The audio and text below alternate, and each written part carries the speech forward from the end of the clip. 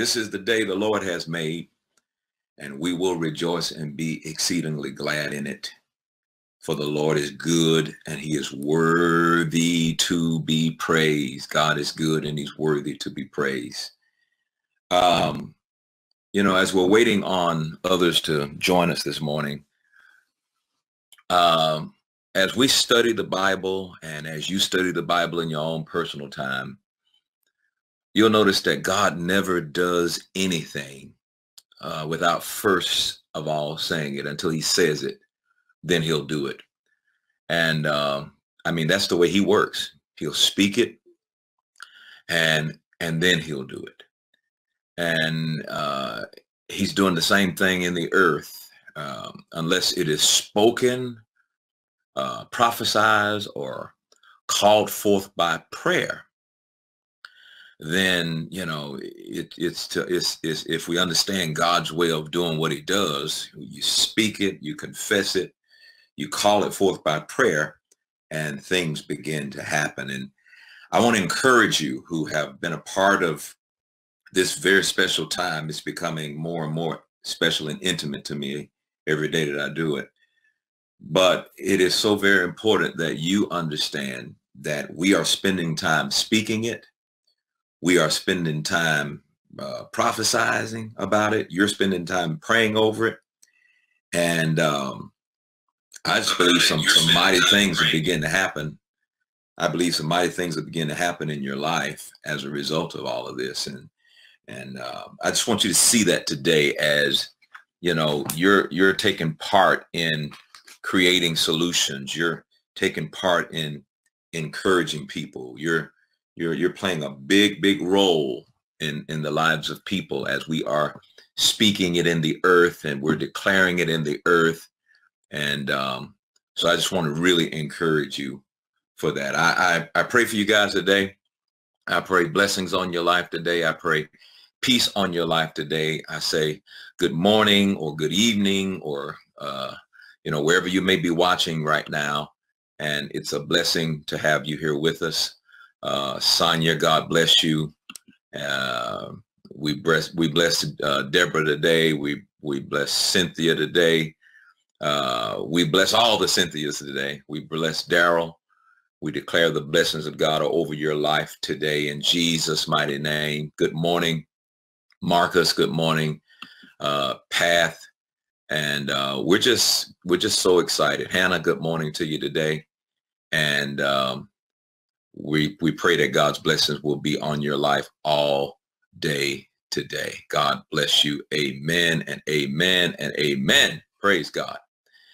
Uh, now, one of the things that uh, I, I want to share with you today is I want to talk to you about something that will really, really inspire you and change your life today.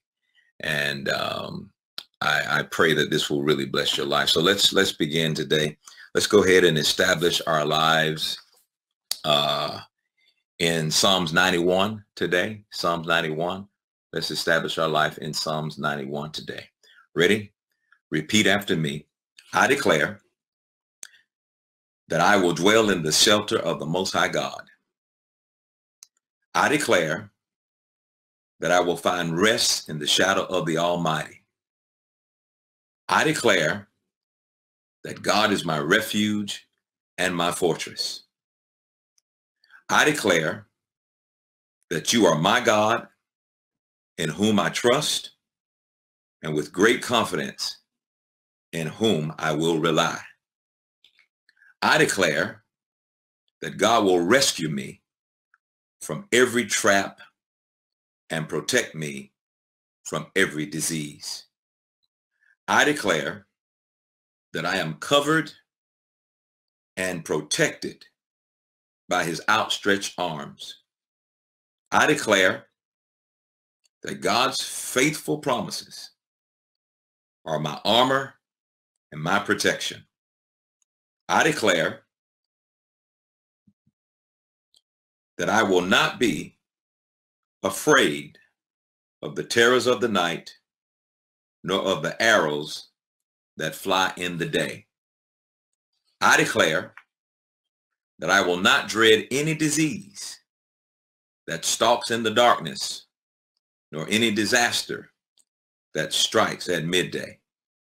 I declare that because God is my refuge and the almighty God of my home, no evil can befall me and no plague can come near my dwelling. I declare that God has ordered his angels to guard, defend, and protect me and my house. I declare that God's armies of heaven will keep me from falling. I will walk unharmed and kick anything that is evil from my path. I declare that because of God's love for me, I will call upon him and he will set me above my troubles and he will deliver me from all of my fears. Glory be to God. And he will honor me with his presence and his power. I declare that he will reward me with long life and he will show me his salvation. Praise God, praise God. Amen. Now let's go ahead and make our declarations concerning this area of our lives. We're going to declare over the area of wisdom, guidance, wisdom and guidance. Wisdom is knowing what to do when you don't know what to do. Be careful that you don't allow your lives to be led by carnal, fleshy things.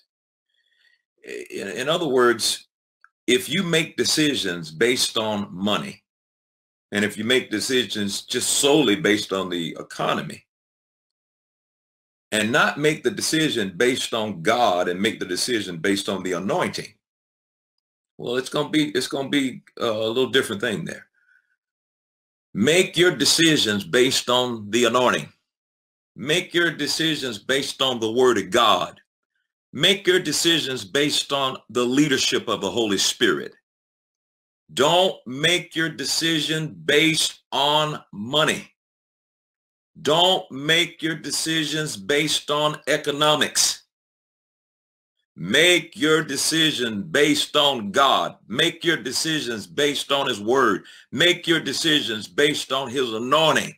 Make your decisions based on the call of God on your life. And when you make your decisions on, on God and his word and on the anointing, then the provisions will follow. Everything you need will follow.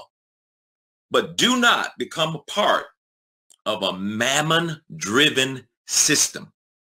Now, mammon is a spirit. And the spirit of mammon wants to convince you not to trust God. A spirit of money, uh, uh, mammon wants to convince you to say, I don't need God, because that spirit behind the money is Satan. And he wants you to trust money more than you trust God.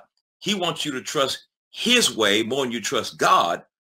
Mammon is, is the spirit behind money. But you make a declaration every day, I trust God.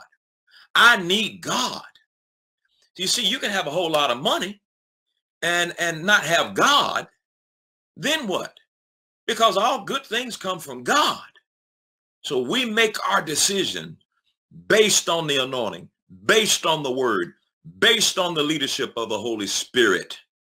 And then all the provisions will follow that. But if you put mammon above um, the word and above God, and, and you'll find yourself driven by mammon, and then you won't listen to God, and then you look up one day and you're in a ditch trying to figure out how you got there. So we trust God. So let's make these confessions today uh, over the wisdom of God that we need to operate in today. Say this out loud. The spirit of truth abideth in me and teaches me all things, and he guides me into all truth. Therefore, I confess I have perfect knowledge of every situation and every circumstance that I come up against. For I have the wisdom of God. Say it again. I have the wisdom of God. Say it one more time. I have the wisdom of God. I trust in the Lord with all my heart, and I lean not unto my own understanding.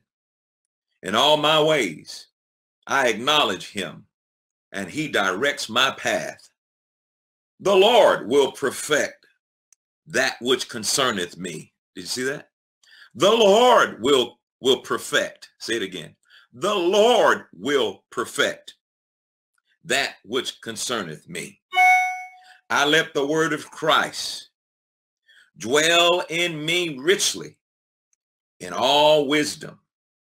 I do follow the good shepherd and I know his voice and the voice of a stranger I will not follow. Jesus is made unto me wisdom, righteousness, sanctification, and redemption. Therefore, I confess I have the wisdom of God and I am the righteousness of God in Christ Jesus. I am filled with the knowledge of the Lord's will in all wisdom and spiritual understanding. Praise God. I'm a new creation in Christ. I am his workmanship created in Christ Jesus. Therefore, I have the mind of Christ and the wisdom of God is formed within me. I have put off the old man and have put on the new man, which is renewed in the knowledge after the image of him that created me. I have received the spirit of wisdom and revelation in the knowledge of him, the eyes of my understanding being enlightened. And I am not conformed to this world, but I'm transformed by the renewing of my mind. My mind is renewed by the word of God. Amen, amen, amen. God is enlightening your eyes today. You're going to see with clarity and you're going to know what you need to do. Now, I want to share this our scripture this morning, uh, and I want to deal with stress. It's time for you to relax from the stresses of life. And that's what I want you to do today. Today, I want you to take a chill pill concerning the stresses of life, coronavirus news, I want you to take a chill pill. What they're doing in politics, I want you to take a chill pill. Now, I, I, have looked at this in Second Thessalonians chapter 1 and verse 7. I'm going to read a part of this, and here's what he says. And to you who are troubled, rest with us. Man, that's that stood out to me. To, to you who are troubled, rest with us. I want to lead you in this prayer and then we'll make a confession over this. Are you ready?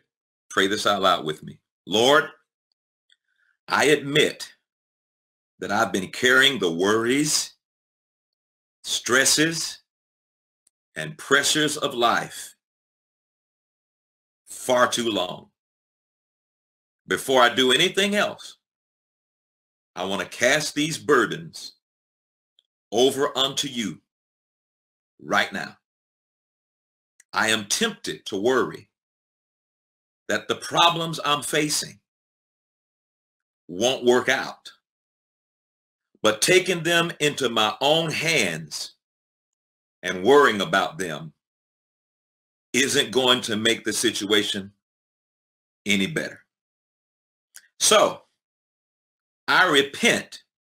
I change my mind for letting myself become consumed with worry about things I cannot change. I turn them all over to you right now. Please help me stay free of anxiety as I learn to relax and enjoy life a little more today than I've been enjoying it lately. I pray this in Jesus' name. Amen. Now you've made a declaration. You have prayed this in the name of Jesus. And you know what I believe? I believe that what we bind on earth is bound in heaven. What we loose on earth is loose in heaven. I believe we just gave heaven a, a permit. You watch what happens to you day to day. Now let's make this confession over this scripture in, in 2 Thessalonians 1 and 7. Say out loud with me. I confess that I need to set aside time for relaxation and recreation starting today. I'm going to take a break from my problems. I am casting my burdens on the Lord. And as a result, I know I will be refreshed, recharged, and given a renewed vision. After a little rest, I will see my challenge with new eyes, and I'll face it with new strength. I know my survival depends on this. So today, I choose to take a break from the constant stress I've been dealing with before I get worn down and become easy prey for the devil. God will give me the strength and the energy that I need to get up and get going so I can complete the work he has entrusted in my hands. I declare this by faith in Jesus' name. Amen. No worry, no worry, no worry, no stress. Just chill, chill off the news today. Talk to people about everything, about something else besides what's going on. Just take a break from stress. Relax from the stress of, of, of, of, of your life. Just turn it all over. Put your favorite music on. Praise the Lord. Uh, call somebody that, that you hadn't talked to in a minute and y'all laugh on the phone and rejoice with one another. FaceTime somebody. Go outside and take a walk if it's okay outside. Play with your dog. Do something besides stress out today and praying the Holy Ghost all day. Practice the presence of God. Start thanking God for things that he's already done. Thanking God for things that you're believing for him to do. Just spend time appreciating God, thanking God, blessing somebody else. Fill yourself up with a good attitude today and then go find somebody to pour all that good attitude on. Amen. Fill yourself up with encouragement today and then go find somebody to pour all that encouragement on. Oh, I love you today. Oh, God bless you today. I bless you in the name of the Father, the Son, and the Holy Spirit. I pray that you're recovering from grief and hurt and pain and confusion. I pray, man, I want you to have a good day today. God is good. And I want that goodness to be on your day today. Man, I love you thank you guys for taking time out for uh, to to join me today. Uh, remember tomorrow we'll go into Bible study with Taffi at 10 and uh, she's going to bless us. And then tomorrow night I'm going to be doing Bible study. And so I'll see you right here uh, for our next confession on Thursday and Friday. I love y'all. Have a blessed day. Be epic today. All is well in Jesus' name. God bless you.